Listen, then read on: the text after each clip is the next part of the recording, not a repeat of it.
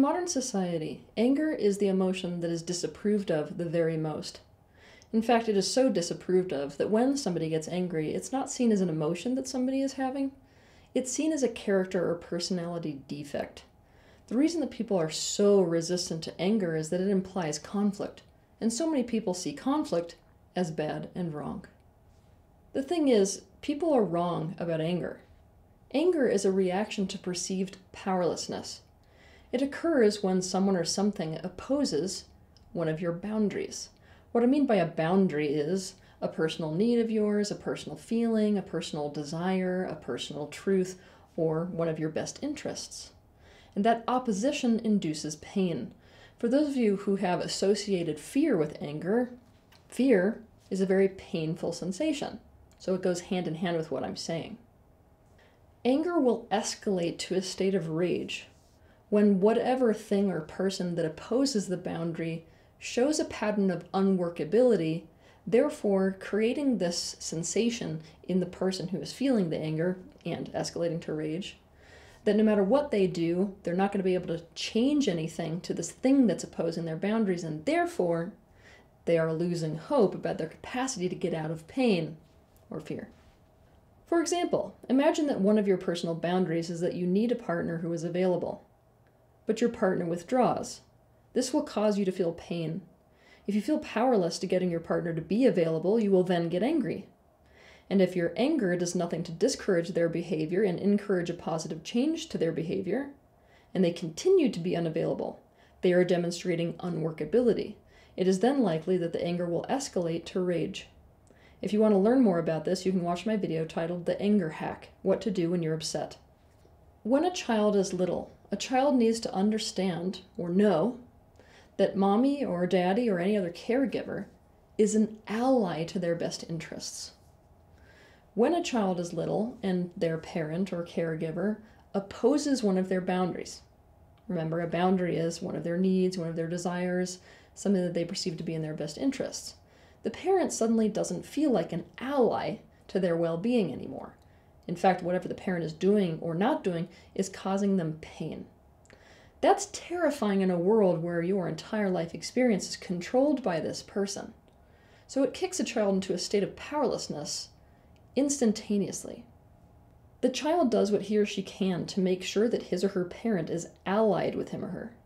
The child gets angry to discourage future opposition disconnection, unavailability, or whatever other behavior the parent is exhibiting, which is threatening to the child. Knowing this, what is interesting is that if you look closely at the genuine purpose behind anger, you will see that it acts to promote a social bond, not disrupt it. If a parent loves a child, or does a good job parenting, when a child becomes angry, thus demonstrating you're not in alignment with me right now, the parent will want the child to feel a sense of security and to feel a sense of well being and to feel a sense of closeness with them. So they will very quickly seek to reestablish security in the child and seek to reestablish that sense of alignment with their child. They'll seek to create resolve quite quickly. This is a child who will grow up with a healthy relationship to their anger and a healthy sense of self. This will also be a person who grows up to be an adult who has a sense of healthy boundaries. However, not all parents are this way. In fact, unfortunately, the majority of families in the world today are dysfunctional. that means that there's a dysfunctional family dynamic going on, and therefore, all of these adult behaviors we would wish to see in a healthy individual, you're not going to see. You're going to see some variation of dysfunction in the adult. So let's take a look at what happens if a parent does not love a child or if a parent does not do a good job parenting a child relative to their own anger. This parent will turn against or withdraw from the child's anger.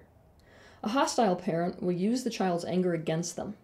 This parent will become defensive, belittle or punish the child for being angry in the first place, and make it clear that the child's anger has nothing to do with something they are doing to oppose the child's boundaries.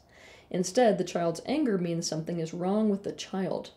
An unavailable parent will use the child's anger as a reason to withdraw further and to become even less available. The message to children in these kinds of households is clear. You can do nothing to get me to behave differently, no matter how much it hurts you or scares you. You just have to put up with whatever I do or don't do, or else you are the problem. The person who grows up in this kind of household will learn that anger itself is the problem, that it destroys relationships and weakens bonds, that anger is bad and wrong, and that whoever is angry is the bad guy. And this opens the door to an incredibly upsetting pattern within humanity. There is a rule of thumb in modern society today, and it is this that the one who gets angry is seen as the one who is creating the problem. The one who gets angry is seen as the one who started the conflict. The one who gets angry is the one who is seen as bad and wrong. And the one who gets angry is the one who loses in the end. Whether or not any of what I've just mentioned is actually true or not. The sad reality is that in society, people can use this truth as a smokescreen for their own dysfunctional behavior and patterns.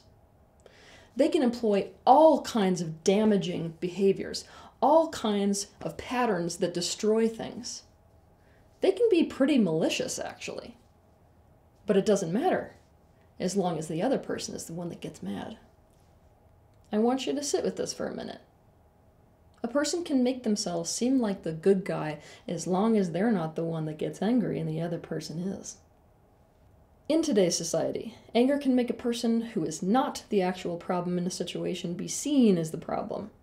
It can make a person who is not in the wrong be seen as the one who is in the wrong.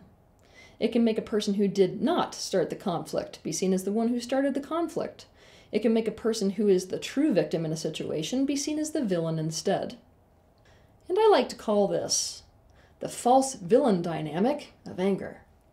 So that you can understand this dynamic, I'm going to give you a couple of examples. Jody runs a salon.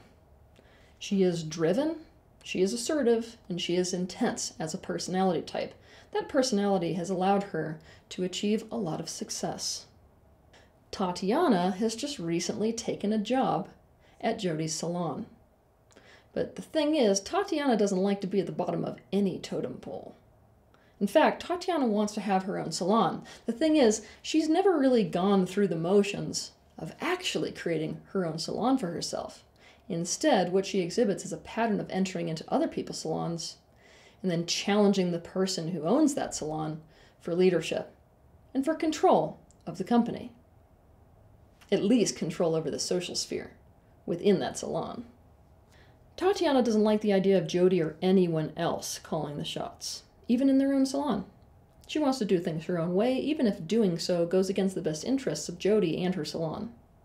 The reality is that Tatiana took a job at the salon and immediately started a power struggle with Jody. Tatiana started being two faced. She was pretty friendly to Jody's face, but then behind her back, she would make sure that to all the other people who worked at the salon, she was complaining about all the things that she disliked about Jody. Not only that, she was going to great lengths to figure out what grievances they had with Jody so that she could go ahead and fan those flames.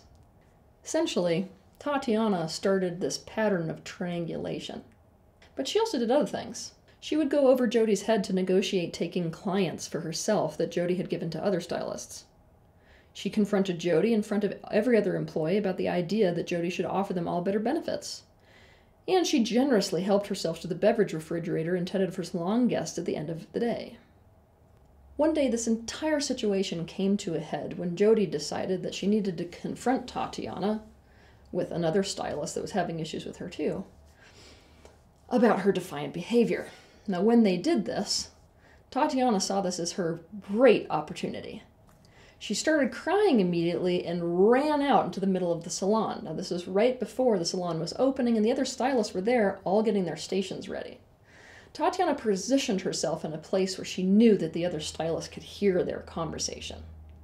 Tatiana started crying and explaining through her sobs about what was going wrong with her life and everything was hurting her, and also how unfair she felt like it really was that everybody else's thoughts and needs came second to Jody's. Now, what do you think was happening when the rest of the stylists were watching this happen? Especially given that Tatiana was crying. Does she seem like the underdog or the villain? Jody could see that what Tatiana was doing was trying to paint herself as the victim in front of the other stylists and trying to elicit defense from them. This whole power tactic, this victim control dynamic, made Jody really angry and she exploded.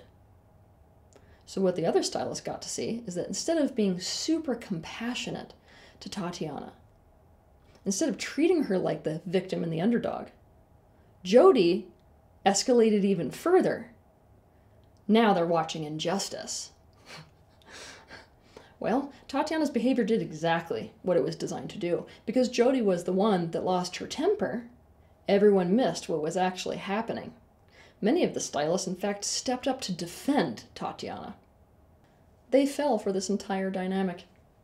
They saw Jody as a tyrannical dictator who was picking on Tatiana, who was the obvious victim and underdog. Tatiana was able to use Jody's completely justified anger as a smokescreen for her own dysfunctional behavior. She was able to use it to get the rest of the stylists to fall into the false villain dynamic of anger. As a result of Tatiana's behavior, three of Jody's stylists quit. Her relationship with several others remained tense for years, and when Tatiana quit, she got to walk out the door feeling justified that she was Jody's victim, and keep telling the story like that to everyone else she met, when the truth is in fact the other way around. To understand more about this dynamic, you may want to watch my video titled The Victim Control Dynamic Escaping Control Drama in Relationships. Another example is that Mason is in court in the middle of a custody battle his ex wife is still so insulted by the fact that he asked for a divorce in the first place that she's in this mode of wanting to get back at him in any way that she can. And she figures that the best way to do this is to fight him for the custody of their children. Because of this, she starts to create a parental alienation dynamic with their two children that they have together against Mason. Soon, both of his kids become hostile and spiteful toward him and start criticizing him, despite the fact that neither of the children can rationally justify the way they feel towards him suddenly. They start using adult language and phrases to describe their issues with their father because those are the things that they are being told by their mother. On the other hand, they start to think that their mother can do no wrong and is both the victim and the saint in the scenario. They also reject every extended relative that is related to their dad's side of the family.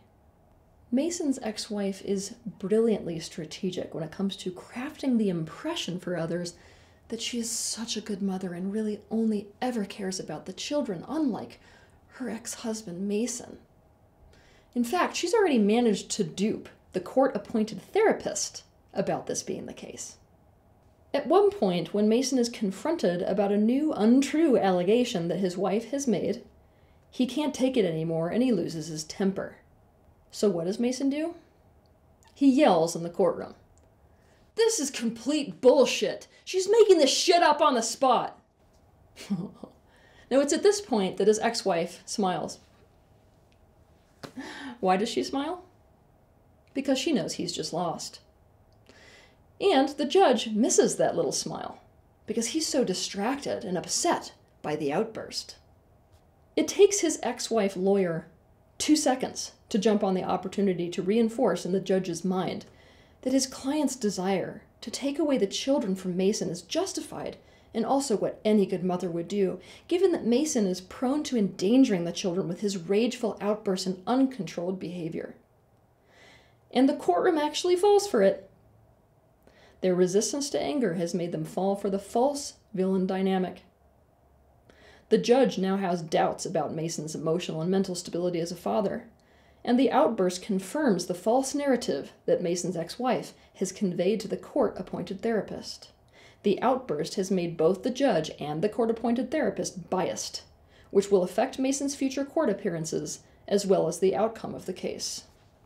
In society today, a person can get away with all kinds of things by capitalizing on our resistance as a society to anger as an emotion. Our dysfunctional relationship with anger makes us blind to what the actual problem is, and it makes us blind to who is creating the actual problem. This will continue as long as we continue to have a dysfunctional relationship with anger. It will continue as long as we allow ourselves to be duped by the false villain dynamic of anger. Have a good week. If you liked this video, be sure to hit the like button, subscribe to my channel, and consider sharing this video with your friends. You can also click on the bell icon to be notified of the next time that I post a video. I want to thank you personally for the bravery that you have to step into awareness. I'll see you in the next video.